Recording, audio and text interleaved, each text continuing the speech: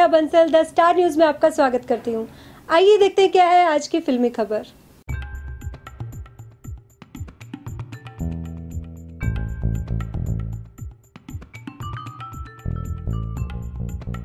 मेरा नाम संजय निषाद है। और काफ़ी समय हो गया स्ट्रगल करते करते। और, इसके पहले कई फ़िल्में मैंने असिस्ट भी की है भोजपुरी में। एज ए डायरेक्शन में मेरी पहली फ़िल्म है हिंदी में।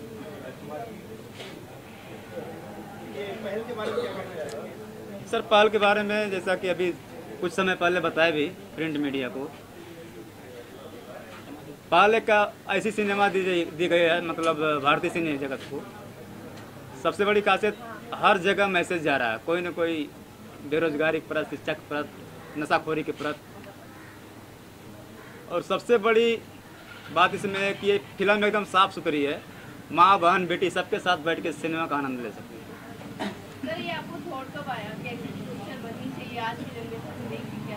जी मैडम होना चाहिए ना। बदलाव परिवर्तन। आज जो तमाम सी ग्रेड की मूवियाँ मर रही हैं। जो एक पति पत्नी एक साथ नहीं देख सकते। उस कंसेप्ट को लेकर मैंने बदलाव किया। और इसमें आम भूमिका निभाए मेरे राइटर साहब सुरेश कुमार एकलव्य जी। आजमगढ़ यूपी से मैं रिलेशन रखता हूँ। वहाँ पे मैंने बहुत सारी चीज़ें ऐसी देखी जो गाँव, बहुत से गाँव ऐसे देखे जहाँ पे छिड़पन बहुत सारी दिक्कतें बड़े लोगों से छोटे लोगों का दबाया जाना, वगैरह वगैरह सारी चीज़ें हैं। नशा बहुत ज़्यादा है और शिक्षा भी बहुत ज़्यादा कम है तो मेरे लेखक साहब ने कुछ ऐसा ही लिखा है इस फ़िल्म के बारे में। सेम एक्चुअली ये फ़िल्म जो है, बहुत से गाँव को टच करती है, बहुत से गाँव की रियल ज़िंदगी को टच करती है।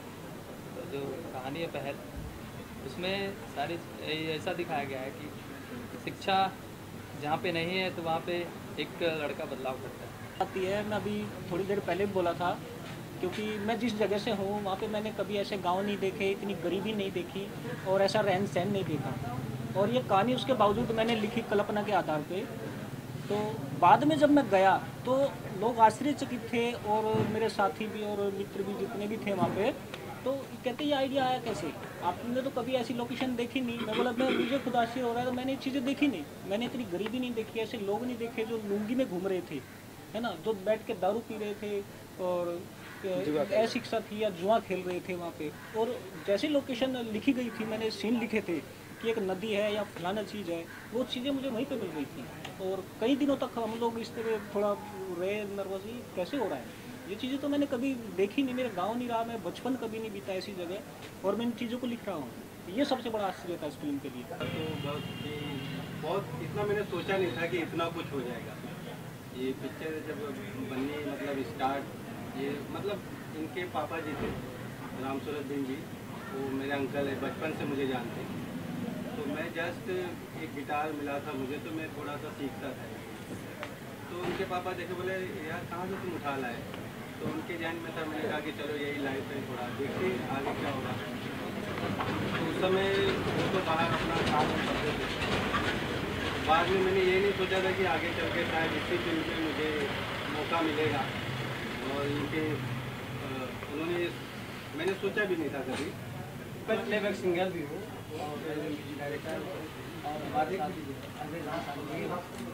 और गाने तो काफ़ी अच्छे बन गए हैं। और भगवान की महिमा है, क्या सफलता मिलती, क्या होती है पिक्चर के हिसाब से मैंने गाने बनाए। और एक दारू पे गाना है जो जो एसएमएस देते जो दारू पीते हैं, जो मतलब पी पी कर अपना जीवन खराब करें, उसके बारे में एस सॉन्ग है कि पियो मत सुधारो।